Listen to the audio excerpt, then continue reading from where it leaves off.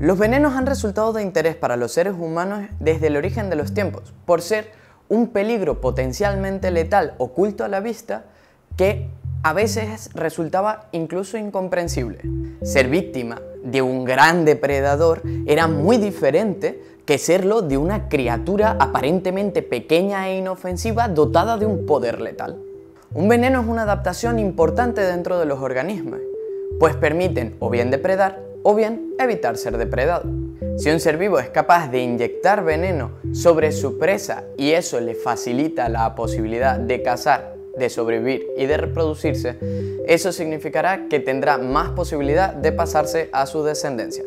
Es decir, le habrá conferido más éxito evolutivo. Por otro lado, también lo podemos entender desde un punto de vista defensivo. Si el veneno lo utilizamos para evadir o hacer que los depredadores no nos casen significan que conseguiremos sobrevivir y por tanto pasar nuestros genes a la descendencia.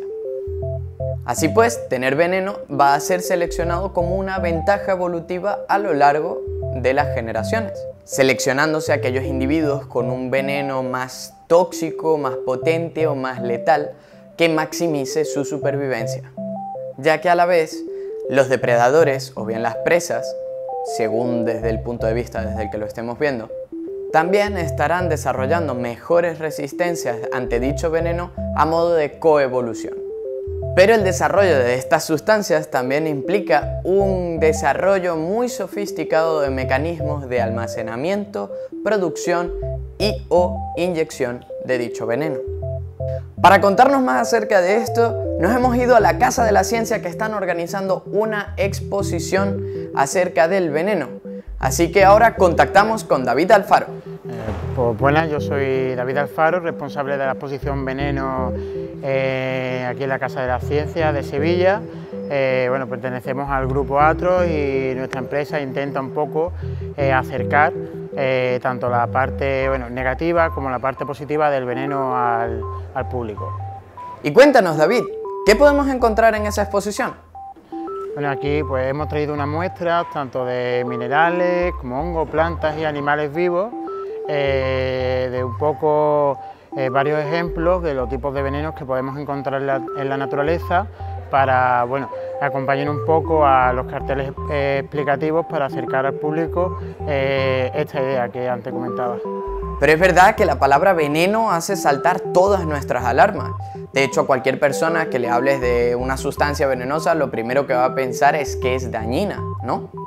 ¿Qué importancia tiene estudiar los venenos?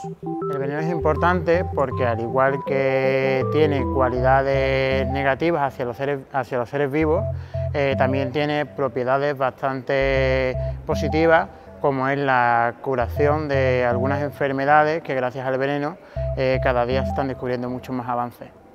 Y en tu opinión, eh, ¿qué es lo más interesante que crees que han traído a esta exposición?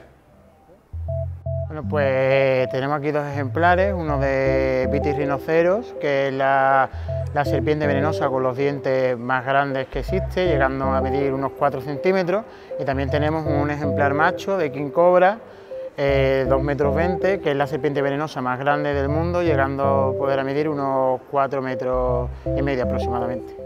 Aparte de animales, también tenemos eh, eh, ejemplos de plantas, minerales, hongos y también algunas vitrinas en las que acercamos al público eh, diferentes tipos, que se diferentes modos que se utilizaban en la antigüedad para la extracción y digamos la cura de envenenamientos y diferentes tipos de medicamentos que antiguamente se usaba para curar enfermedades y tenían como base veneno que a la larga se dieron cuenta de que bueno, eran dañinos y fueron sustituyéndolo por otras sustancias. Eh, pues os invito a venir, estaremos abiertos hasta el 14 de julio de 2019, eh, de martes a domingo, de 10 a 9. Espero que cuando vengáis lo disfrutéis tanto como lo disfruto yo. Pues muchísimas gracias David Alfaro por tu explicación y muchísimas gracias a la Casa de las Ciencias también por montar la exposición. Ya sabéis, aunque muchos venenos tengan ese potencial efecto dañino, también existen muchos investigadores detrás estudiando cómo podríamos utilizar dichas sustancias con fines medicinales. Ya lo decía Paracelso en el siglo XV. Todo es veneno y nada es veneno. Tan solo la dosis decide que algo no sea veneno.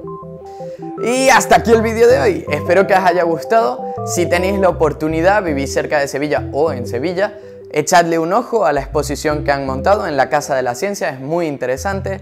Y por supuesto, como ya sabéis, echadle un ojo también a nuestros artículos en nuestra web, que además hace poco hemos sacado una revista de medicina súper interesante, seguro que os encantará. Nos vemos en el próximo vídeo.